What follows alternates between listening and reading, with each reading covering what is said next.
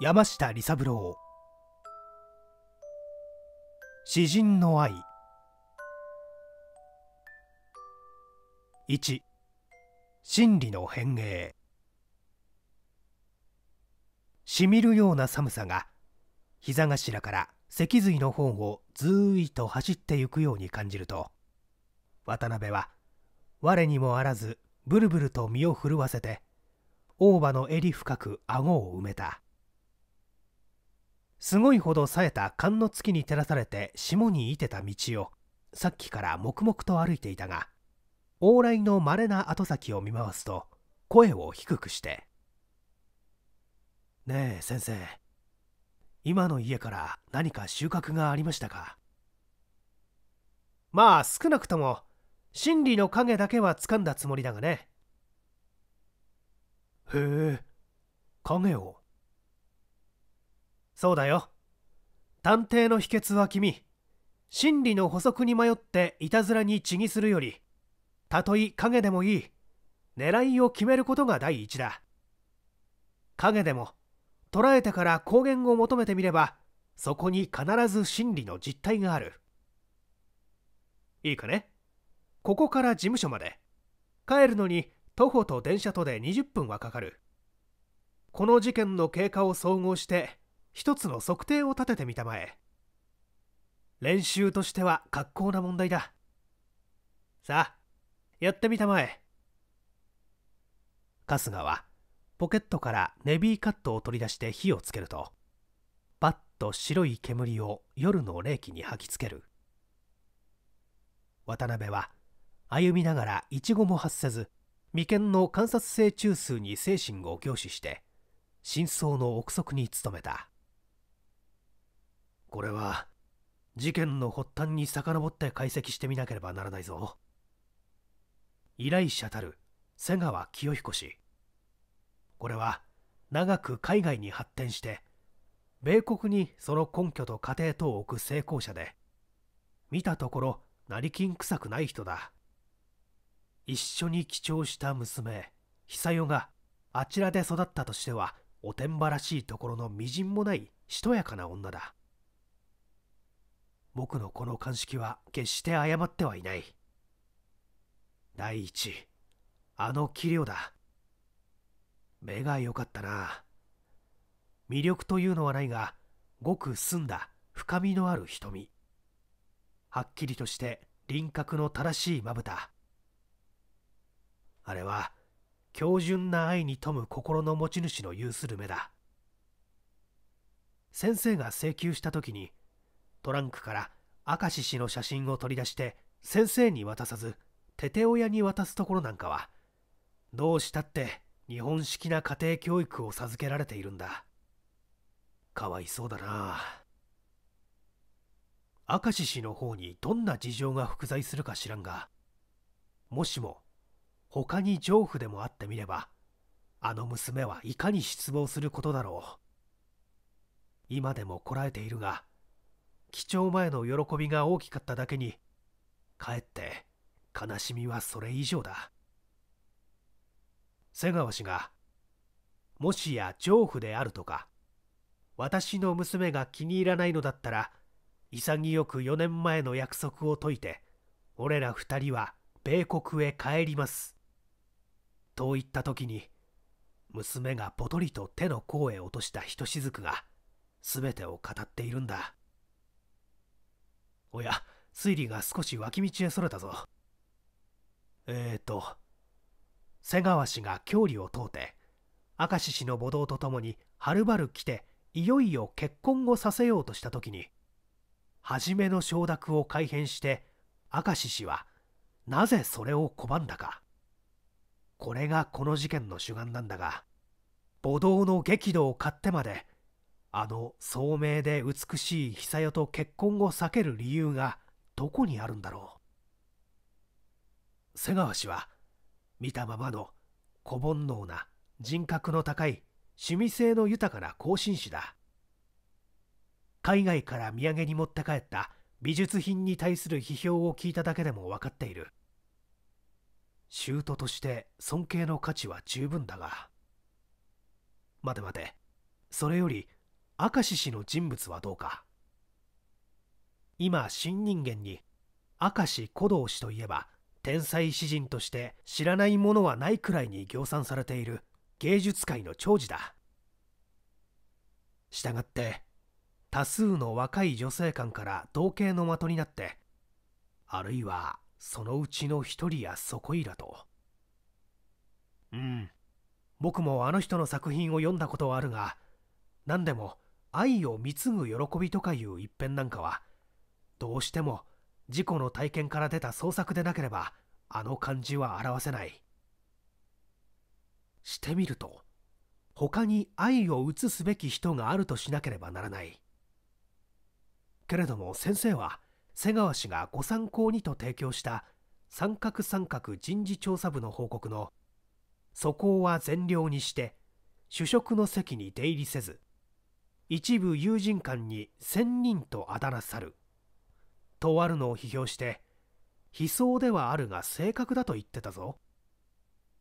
すると僕の観察は根底から覆されてしまう。先生のことだ。何か自信があるにそういない。さあわからないぞ。いや主食の席と上夫とは必ずしも一つじゃない。やっぱりダメだ。妾もしくは上夫関係等の事実なきものと認む。が難しいな。性格の項には温和にして無邪気なれどやや偏境なる嫌いやりとあったがなるほど。瀬川氏も言っていたぞ。現在の母親でも書斎へは入れないくらいの偏屈だと。まあ見たところそうらしいな。今晩明石氏の宅を訪問した際の印象やこれが肝心だな。えー、順番通り辿ってみよう。取り次ぎに出たのがあの60くらいの江戸っ子のじいさんで他に諸生も誰もおらず本当の二人きりらしかった。もちろん僕は下駄箱も庭も覗いたが女の履物なんぞ見当たらない。はしごを上がって右側が壁と押し入れでその間は4畳半。左の方が遠紙で仕切って次が8畳の客間だったがよく整頓してあって何一つ女のものは探し出せなかった。そこで明石氏と会って先生が原稿を依頼したのだけれど談話中にヒントとなるべき事柄は何もない。ただ少しイライラした神経質な人にそういないと感じただけである。容談が果ててあのじいさんと二人に見送られて外へ出て別段変わったことはない。そうすると報告書は正確だな。貧困は善良だと定めるより他はないな。明石氏が感情家で瀬川氏親子に対し何か誤解しているんだ。うん。それに相違ない。先生発表しますよ。僕はこう断定を下しました。当事者たる明石氏は感情の組閣に基づく誤解からこの婚約を破棄しようとしたものです。甚だ抽象的だね。誤解。うん。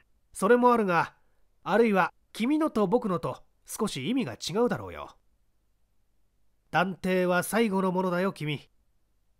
しかしさっき玄関から上がろうとした時に来た呉服屋の店員が渡した紙包みを僕が取り次いでやったがあれは感触や容積重量から押して小浜か金車と鑑定した事実をどうするね。それから客間へ出された火鉢の中に乾きついておったおしろいのような白い小さな鳥羽汁に気がつかなかったかね。もっともよほど注意しないと認められないほどの少量だったがちょっと待ってください。そりゃ僕は知らなかったんです。じゃあ断定は訂正します。これはやはり初めの推測が本当かもしれんぞ。なんだか曖昧なことを言ってるな。ではもう少しメスを見せておこう。あのおあつらえ者は女羽織だよ。男物として金社や小浜はあの二人に縁が遠いんだ。まあ断定を保留して今晩ゆっくり考えたまえ。おおちょうど電車が来た。乗り換えなしだ。さあ乗ろう。2大行の報い。翌朝春日が来信や新聞に一巡目を通して後初夏から抜き出した一冊に読みふけるうちに十字を打った。渡辺も速記の翻訳を日記へ移し終わったので二人とも街頭を着て事務所を出た。ある百貨店へ寄って売り場主任に面会の上審問すると春日の心を了解したように明快に答えてこう語った。明石様は下宿時代から洋服だの。お身の回りは一切こちらでおこしらえです。そうですな。女物をご注文になり始めてからもう3年ほどにはなるでしょう。ええ。そういえば誰がお伺いに行っても奥様らしい方はお見受けしたものがありませんがこれはお国元の方へでもお送りになるんでしょう。お召し物は明石様がお見立ての上こちらで仕立ててお届けしています。他にお串のものなども前は串や郊外類が行きましたが近頃はやはり中押しだの横串といったようなものをお買いですね。大抵はお届けしていますが時によると年寄りの方が取りに来られることもあります。え？ちょっと待ってください。帳簿を調べてみますから。お肌着から半蹴りまでもお願いしていますがお下駄や傘類は一度もお売りしていませんよ化粧品もどこか他でお求めのようです。ああ、もうお分かりですか？いいえ、どういたしまして。差し支えのない事柄でしたら何なりとお話しします。もうお帰りですか？まあいいじゃありませんか。用事を済ませて出口へ回った。やはり大商店の係なんかは分かりが早くて開放的だから調査が楽ですね。さよう。隠し立てをしても得意のためになるかひいきの引き倒しになるかは疑問だ。さあ少し早いが昼飯を食ってしまおう。とある片側のきれいに流し清められた叩きを踏んでうなぎと染め抜いたのれんをくぐった。時間が早いために2人はくつろいで昼支度を済ませることができた。そして別に土産を取り寄せてその家を出るとあまり急ぎもせずに徒歩で昼少し過ぎた頃に夕べ来た明石氏をまた訪れた。玄関から声をかけたが答えがないため春日は一人通り庭を裏口へ出てみるとじいさんはせっせと植木棚の藁屋根を繕っている。にっこり笑って言葉をかけるとじいさんも手を休めて小腰をかがめた。近づいていって体なく檻を渡してやると迷惑そうに手を引っ込めたがそれでもとうとう礼を言わされてしまった。なにちょっと仕事を怠けてその辺まで遊びに来たんだがどうせ場違いだからお父さんの口に合うようなものじゃないよ。ついては無心があるんだよ。連れの渡辺君が腹痛を起こしてね。何か食い合わせたものだろうと思うんだ。薬を飲ませるから湯を一杯くれませんか？ええそりゃいけませんね。何か酢の物をやったんじゃねえかな。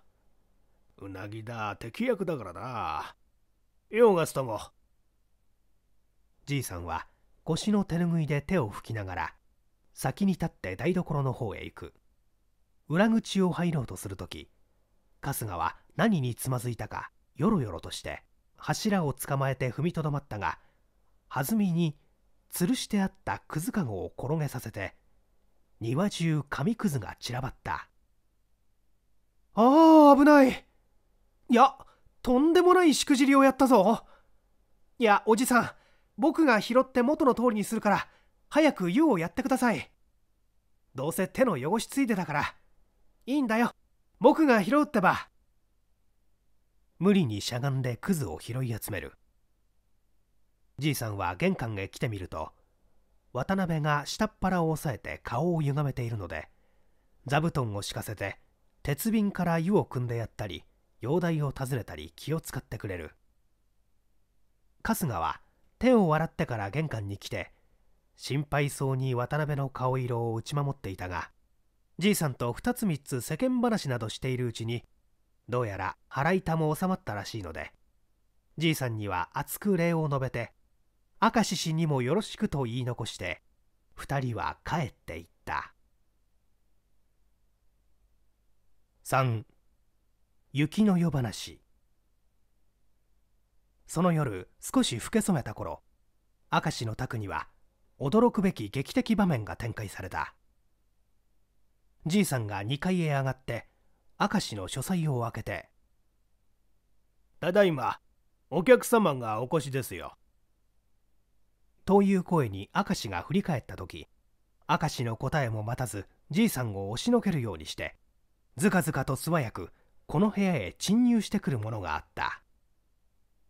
そしてすっくと立ったまま自分の顔を見下ろす相手を見ると明石は向き直りざまに叫んだ声が怒りに震えていた失敬じゃないですか君は。なぜ許しを待たないで入ってくるんです？出てくれたまえ。相手はあくまで落ち着いて答えた。ご立腹はごもっともです。不法侵入の罪は不詳春日甘んじてお受けします。しかしこれによってあなたがより以上の幸福を求められるならば僕はなお一層の不徳といえども犯すことを悔いません。何が幸福です？おいとっさん。一体これはどうしたのだ？じいさんを睨んで叱るように言うとじいさんは膝の手を畳につかえてがっくり首を垂れた。もうダメです旦那春日様は何もかも見抜いて知っているんだ。あっしはあくまでしらばっくれるつもりだったが、図星を刺されてしみじみ今夜は泣きやした。すっかり諦めたんで。むせ返ったようにつぶやく。明石は月光にどもりつつ、そんな、そんなバカなまあお待ちなさい。そう月光なさらずとも、許せなければ僕もおじさんもご制裁を受けましょう。あなた、どうかお入りください。春日が振り返って呼ぶと、白ひげ宝鏡の瀬川王が静かに姿を現した。あ瀬川のおじさん戸を失って驚く明石より瀬川王はこの室内の光景に少なからず缶に打たれて立ちすくんだ。真っ青な顔に唇をおののかせ痛憤と周知に目を輝かす明石の横には工作せるこの場に関わらざるがごとく目前と座っている妙齢の美人があった。明かりに照らされたその横顔なんという美しさ。なんという神々しい面差しであろう。ぼうぼうとした髪愛と情とに満ちた瞳。探せばとて避難の打ちどころがあろうか。肩から胸への線なだらかなそそたる体を心持ちかしげて読み差しの雑誌を膝へ伏せたまま机の上に明石の書き流した原稿の文字を見つめている。明石さんいかにあなたが思想の洋蘭として深く愛を感じておられてもかかる不自然が果たして人間たるあなたを長く真に幸福に生かしていくことが可能であると信じますか？僕は大なるこの誤謬を悲しまずにおられません。瀬川さん明石さんが人に秘めて愛を注いでいられたその歌人は実に生き人形であったのです。瀬川王は愕然として耳を疑った。明石は絶望の叫びを上げ頭を抱えて崩れるように座した。瀬川さんこの不可解な自責を目撃されましてどうお感じですか？かかる尋常人の無双だにあたわぬローマンスを描き出すに一つの美しい相和があります。ちょうど3年前のある冬の夜でした。頼るべき子に先立たれてやけから酒に身を持ち崩した老人が放浪の旅に出ましたがいつか金も使い果たしてしまってある町をさまよった挙句に居酒屋で泥酔するまで飲んだが持ち合わせがないために主から巡査に引き渡されようとした時通りかかった年若な気高い婦人が紙入れから出した金で払ってやった上その憐れむべき老人にいくらか握らせたままいずくともなく名を告げずに去ってしまったのです。その後幾日かたってその老人が頼る人もない旅先で宿を失った上に雪の夜道で病苦にもだえて苦しむところを折よく一人の若者が見つけて親切に自分の下宿へ連れ帰り医者にかけてやりました。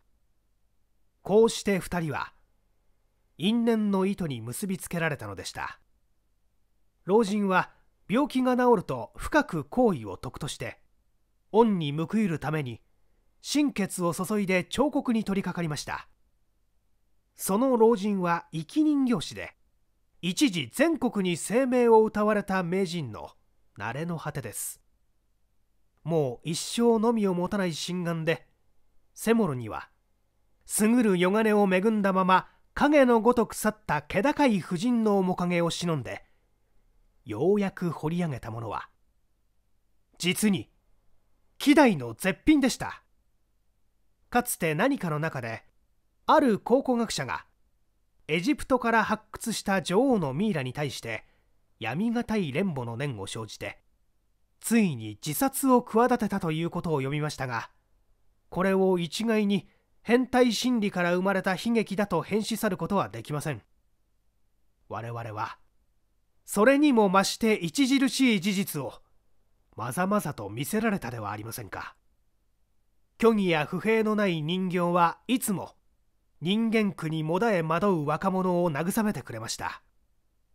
あまり偽りの多い人間生活に飽き足らなかった若者は人形を恋し妻と呼んで地来三年その読む神秘的な詩の愛はいつもこの人形に対する恋に大敗していたのです。若者とは言うまでもなく明石氏その人で余生を捧げてこれに奉仕した人形師こそそこにおられる酒井義三郎老人なのです。こう時終わった春日は一座を見回した。明石も老人も石膏像のごとく動かずただ瀬川王のみが間に絶えざるように人形を見ては短足するのである。やがて春日はとうとうと明石に向かってその不自然をかっぱした。瀬川王は順々と人間の真の愛を説いた。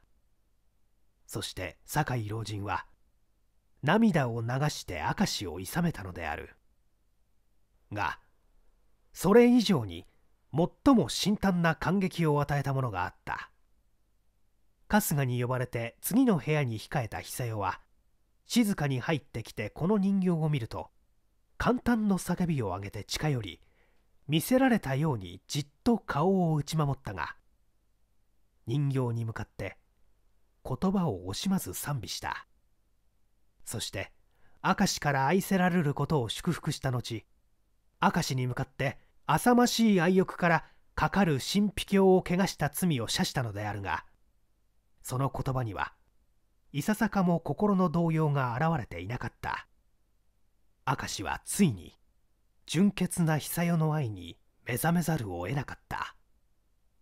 久代が春日に数々の労を射してこの部屋から退こうとした時明石は意を決して呼び止め瀬川王と二人に過去の一切を詫びて久代との結婚を誓った。久代は自分が愛を誓うに忍びないと躊躇したが明石の混成に動かされてこれを受けた。各手事件は一社千里の勢いで解決したが困ったのは人形の処分である。明石もこれには顔を曇らせた。しかし瀬川王は自分が久屋を嫁がせた後ぜひこの人形と酒井老人と一緒に引き取りたいと定義したので終尾を開くことができた瀬川王はなお感嘆して「春日様あなたの手腕は確かに奇跡じゃ。かくまでも秘密に企んだことを一体どうして看破されましたな。不思議じゃ。お褒めに預かるほどではありません。では、酒井老人の喋ったのではないという疑念話に気略ご説明しましょう。初めてこの家を訪問した時、その火鉢の内部に白い飛ばしるが付着してあったのを僕はおしろいと仮定して調査の方を進めましたが百貨店から婦人用衣服はもちろん送信具の一切を調達していますけれども傘および履物類と化粧品は一度も請求されないことを突き止めたのです。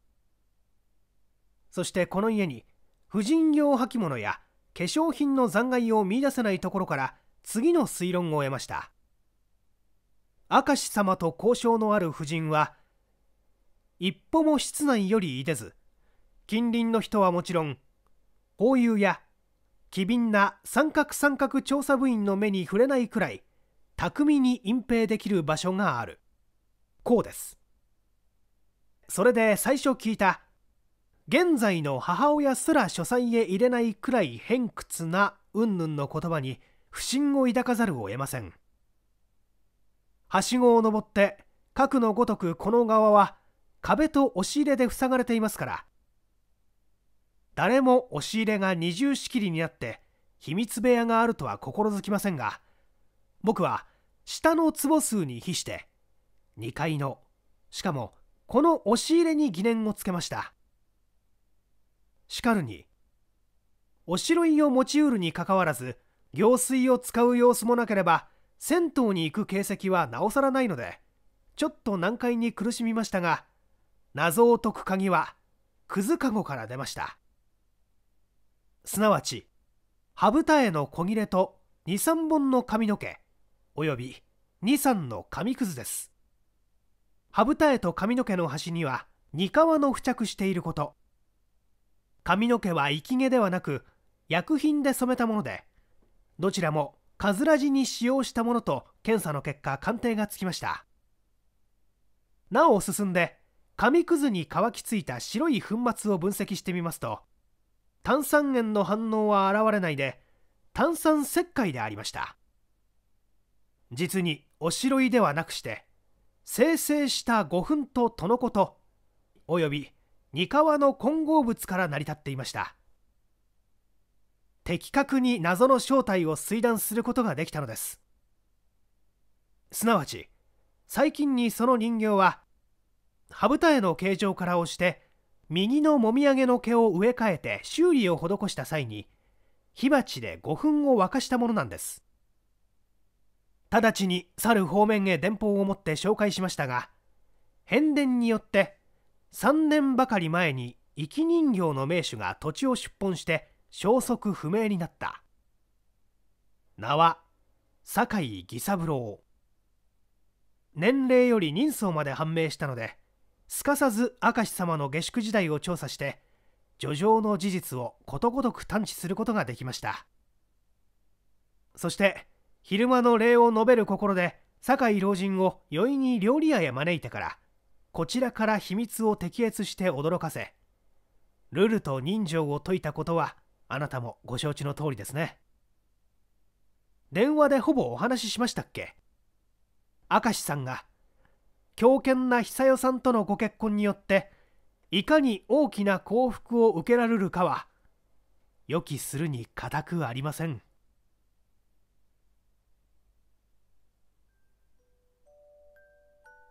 ご視聴ありがとうございました山下利三郎作の他の作品はこのようなものを朗読しておりますどうぞ合わせてご視聴ください。